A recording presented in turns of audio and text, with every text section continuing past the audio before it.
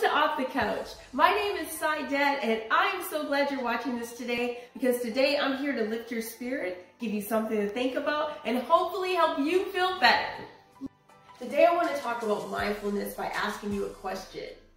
Are you feeling exhausted lately? Tired? And you keep thinking to yourself, why am I so tired? I'm not doing anything to make myself feel that tired. I, I understand what you're going through because lately I've been feeling so exhausted. So I started studying and trying to figure out what's going on and I realized that my posture has a lot to do with my exhaustion and sometimes my mood. Because lately I've been doing a lot of this because I'm on my phone. Or my laptop.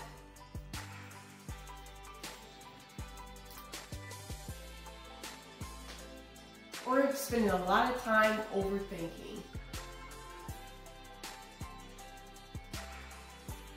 Have you been feeling sluggish, tired, exhausted? Well, I know I have. So I want to share an exercise with you that helps me feel a little better. It helps me kind of get that energy that I need to get through the day. I simply want you to put your shoulders back, lift your chin up, and look up.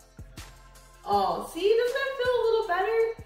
And I know that there are times that it feels like, how am I going to feel better when all I'm doing is sitting around? All I'm doing is trying to figure out what I'm gonna do with my future? Well, I'd like to give you some ideas from Dr. Erik Peper.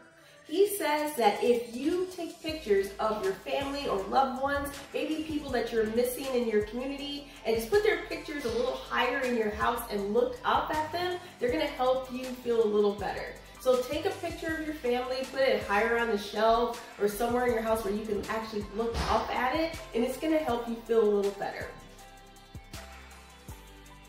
Also, let's talk about those negative thoughts we're all feeling some sort of way about COVID-19. So maybe what you can do is just start writing down how you really feel.